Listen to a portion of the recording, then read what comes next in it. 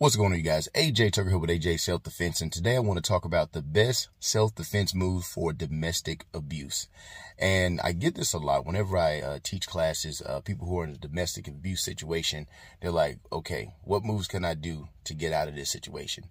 And even though there are moves to get out of certain situations, I always feel uncomfortable about giving moves for that because in my opinion, there are no moves to get out of a domestic a domestic abuse situation.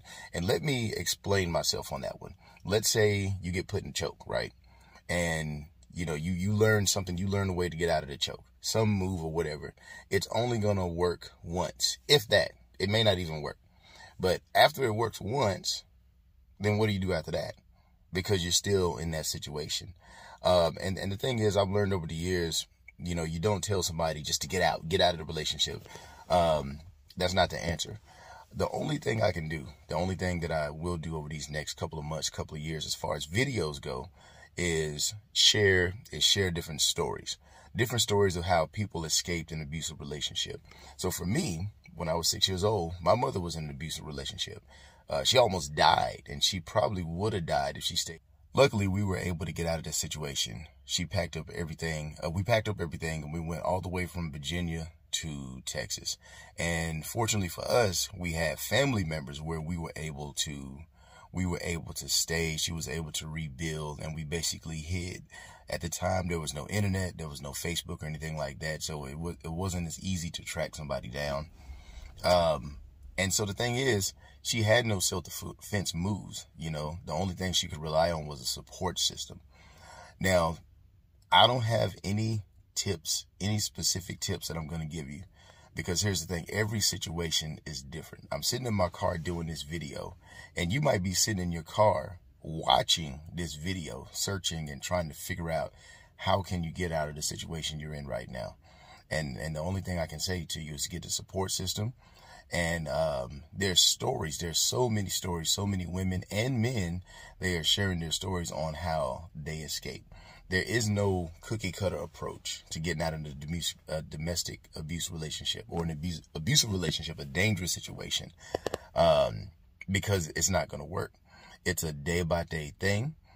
Uh, it could be, it could take a long time, or you can see the signs early and you can get out of that scenario. Now, I did, uh, if you look in the description below, I shared a couple of uh, YouTube videos that I watch, and it's just two stories. Now, one is a podcast of 90 minutes. It is on Kaylee Lynn's channel, a channel called Kaylee Lynn. So big shout out to her. I tagged her, and it uh, she's doing a podcast, and she's interviewing a woman named Heather. And I I honestly watched the whole 90 minutes because I thought it was going to be a lot shorter. I thought I was going to talk about uh, some situations where you know she had to do this, do that, but it was very extensive, talking about um, a, a narcissistic behavior and what this guy did to control her, the lies that he told, and the control that he had over her, and it was just a crazy story, man. And so um, it's something to check out, man. So if you look at the description below, you click on the link. Another story. Let me let me look up her name real quick. Hold on. Another story is by the Nature D or the Nature Day. Um, I can't pronounce the name um, correctly, but big shout out to her.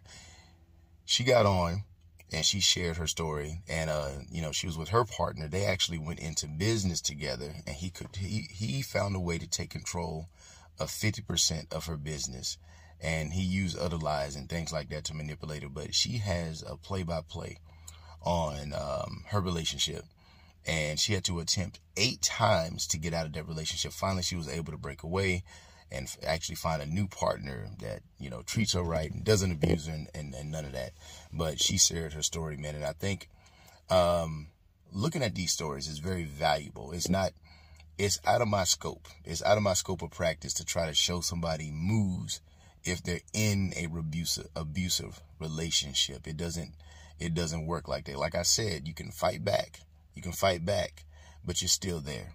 And so if you feel like you're in danger, if you feel like you're eventually going to die, um, you know, I encourage you to check out these different stories and, and find a way to get help, see what your support system is.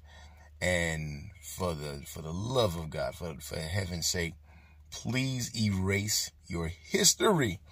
You know, uh, you don't want to watch this video and get motivated just to come on and look at these and, and, and have uh, your abusive spouse, him or her, your abusive spouse, to check out your search history. You know, just just simple little things like that. Um, but anyway, man, that's all I got for this one. That's uh, like I said again, check in the description below, and I have a, a link to both of these videos, and I uh, tag their channels as well. And I'm gonna be doing more of these, man. I'm gonna be looking up stories, and if I see a story that that I feel like it has valuable information, I'm gonna share it on the channel. All you got to do is click and check it out, because I do feel like it is not one way to uh, get out of it. I, I do want to talk to some family lawyers um, to see if they are able, not not share people, but if they are able to share, if they have more strategies on how to get out or what a what are a couple of things you can do to start off with to get out of an abusive relationship. But anyway, that's all I got for this one, man. I'm out.